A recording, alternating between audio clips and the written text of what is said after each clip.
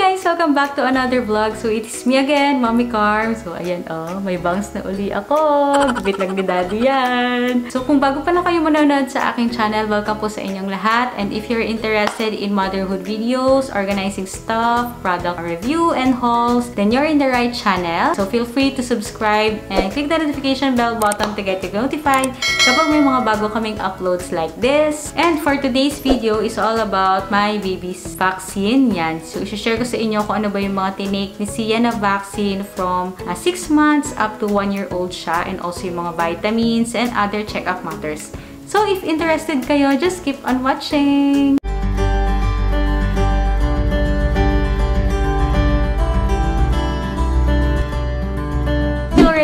Video about his vaccine nung siya ay newborn up to 5 or 6 months. Kung hindi niyo pa yun napapanood, ilalagay ko na lang yung link sa description box. But still, dito pag-uusapan natin kung ano-ano ba yung mga vaccine na iti-take niya ngayon from 6 months to 1 year onwards and kung magkano ba yung aabutin niya. So, just an estimate guys kasi hindi naman pare-parehas ng price yung mga vaccine nila. So, depende po yun kung magkano i-quote sa atin ng ating pedia. And kung ilan dosage ba siya. And kung ano ba yung mga available sa barangay center at saka sa private pedia. So, before I start guys, just a disclaimer lang. So, hindi po ako expert, hindi po ako doctor, hindi din po ako nurse. So, this is all just based on our experience. And just to give you an idea, ano ba yung mga pwede nyo i-expect na mga vaccine kay baby once na mag-turn siya from 6 months to 1 year old. Yan. So, to start guys, ilabas natin ang mahiwagang baby book. Ayan. So, dito para matrack natin kung ano ba yung mga na-take niyang vaccine. Nandito siya sa My Immunization Tracker. So, ito po ay provided ng kanyang pedia. And may nakahiwalay ditong record. So, ito naman ay galing po sa barangay center. So, if nagpa-plan kayong magpa-vaccine sa barangay center, suggest ko lang sa inyo, alamin nyo muna kung ano ba yung schedule ng vaccine nila. Kasi dito sa amin is every Wednesday, every Wednesday morning lang. So yun, para hindi na din magpabalik-balik kayo just in case na pumunta kayo tapos wala palang schedule ng vaccine. So I'm not sure kung sa ibang lugar is every day or once a week lang din. Nung nag 6 months si Sian, that was March and yun yung start na kasi ng lockdown. Kaya, ayan, na-delay na na-delay na reschedule na na-reschedule yung kanyang check-up. So nakabalik kami ng pedia ay May na. So, siya ay 8 months old na no. So, chinek lang yung timbang niya, yung height niya. And nurse-scad na din kami ni Doc for his next vaccine, which is the flu vaccine. About flu vaccine, so guys, this is optional po. So, pwede nyo ipatake yung baby nyo ng flu vaccine, pwede rin hindi. So, nasa sa inyo po ang decision. But ito po ay available lang sa private pedia. So, wala pong available nito sa mga health center. Yung pedia namin, ang quote sa amin is nasa 3,000 pesos per dose. So, dalawang dose po yung kailangan ni baby. So, total nun is 6,000 pesos. So, may meron siyang 1 month interval. So, again, yung mga prices mo na bamagitin ko is uh, based lang po to do sa quote sa amin ng aming pedia. So, magkakaiba po tayo ng pricing. Pwedeng yung ibigay sa inyo is mas mura or mas mahal. So, depende po yun sa inyong pedia. So, 10 months na po ni Sia na i-take yung unang shot niya ng uh, flu vaccine. Then, yung kasunod na dose is 11 months na kasi may 1 month interval siya. Then, after the second dose is every year na siya tapos 1 dose na lang yung iti-take nila. Honestly, pinag-isipan din namin ni Daddy kung ipapatake ba namin kay Sian yung flu shot. Kasi hindi naman siya nalabas ng bahay, tapos pure breastfeed pa siya. Kaya nagtanong-tanong kami doon sa iba naming friends kung yung mga baby ba nila is pinabigyan ba din nila na flu vaccine. And they all said yes. Tapos naisip namin na, oo, may COVID ngayon and we need extra protection sa ating baby. Kaya yun, pinago na namin. Pina-schedule na namin din si Sia ng flu vaccine niya. And also, according to Arpedia, hindi porket nag-take na si baby ng flu shot is exempted na siyang magkasakit. Possibility pa rin daw magkasakit si baby lalo na kung yung mga kasama daw niya sa bahay ay walang flu vaccine or walang flu shot. Dapat daw kung mag mag-take daw si Sian si, or si baby ng vaccine is dapat meron din daw vaccine yung mga kasama namin sa bahay or meron din kaming vaccine. But I think yung mga pang-adult na shot is mas mura siya compared sa babies. Meron around 1,500 ata pag adult yung magte-take ng vaccine. So next vaccine na tinake ni Sian is the um, MMR or the protection for the measles, mumps, and the rubella. Yeah, two doses din po ito and sa balikat siya ituturo. So, meron po nito sa barangay center. Sa private pedia meron din, but sorry ma'am she's, pero hindi ko kasi natanong dun sa private pedia niya kung magkano ba siya abutin kasi yung plan namin is sa center talaga namin siya ititake. So, ideally, ito po ay binibigay kay baby ng 9 months and the second dose is pang 12 months. Pero, na-late kami ng vaccine. Ayan. So, tinake ni Sian ito ay 10 months na.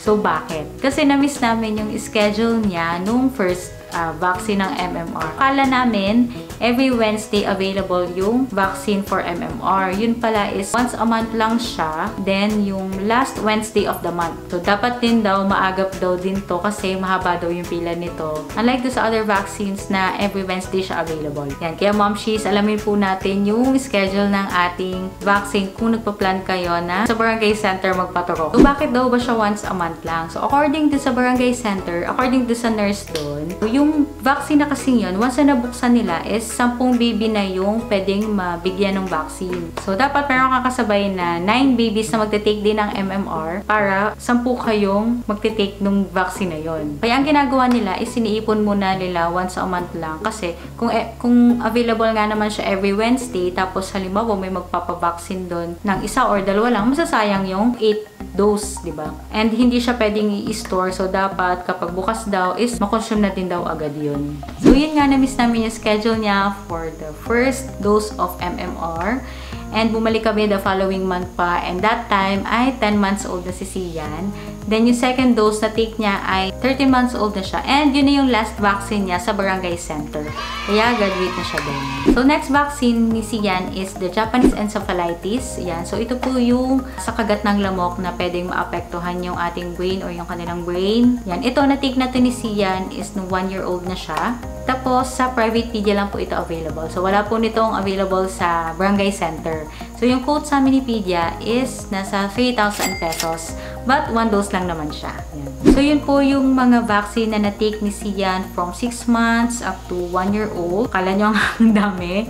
Ayan, konti lang naman. Mahaba lang yung explanation ko. But to summarize, yun nga, yung first is the flu vaccine, dalawang dose siya. Uh, the MMR, dalawang dose din, 9 at 12 months. And the Japanese encephalitis na isang dose lang. So far, hindi naman nilagnat si baby upon taking all this vaccine. Kaya very, very good tayo dyan, baby. But just in case na nilagnat po ang baby nyo, pwede nyo siya pabigyan ng Biogesic. Yan, every 4 hours. Then, yung dosage niya is depende kung ano yung weight ni baby. So, let's say ang weight ni baby is 8 kilos. So, 0.8 ml po yung bibigay natin. Kung 9 kilos, then 0.9 ml.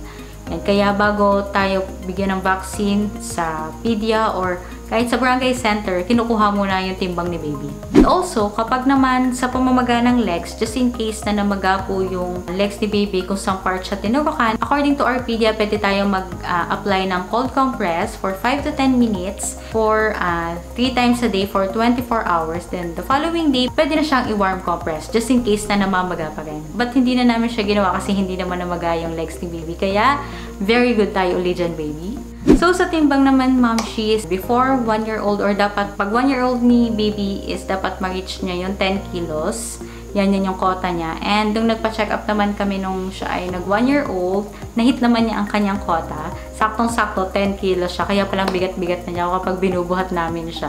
Sa food naman, since 1 year old na si Sian, pwede na daw siya ng mga table food kung ano yung ulam namin. Pwede niya niyang ulam. So, ginagawa namin ni Daddy, kapag magluluto si Daddy, so bago namin lagyan ng ang asin or bago namin itodo yung mga spices, sinihiwalay na namin siya. Para less salt, less sugar lang yung intake niya. We are practicing kasi uh, traditional weaning. So, spoon feeding kami ni baby. So, kapag pinapakain naman namin siya ng mga uh, chicken, ang fish, sinishred pa din namin siya. Kasi yung advice sa amin ng aming pedia, i-shred pa din namin siya kasi syempre hindi pa siya talaga matotally tune ni baby kasi nga uh, wala pa naman siya ng back teeth.